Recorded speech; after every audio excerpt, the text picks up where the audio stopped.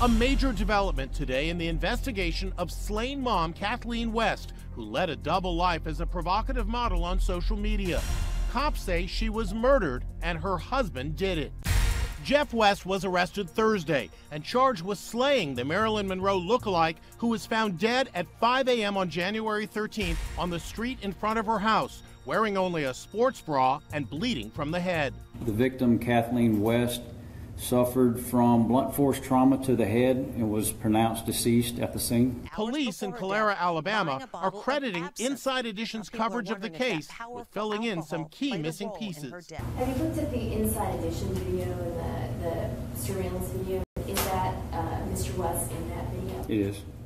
The surveillance video obtained by Inside Edition shows the couple shopping and laughing inside a liquor store at 8:40 at night, 8 hours before Kathleen was found dead. As they leave, her husband gives her a playful pat on her behind. In that video, they certainly seem like a happy couple. Uh, it's domestic. Um, I mean, unfortunately, domestics turn bad very quickly, and anything can trigger them. Kathleen was a stay at home mom, but she also posted sexy selfies and low cut outfits on subscription only adult websites, where she went by the username Kitty Cat West. Her husband apparently knew all about it. Was he aware of that profile? I believe so. Cops won't say what triggered the fight.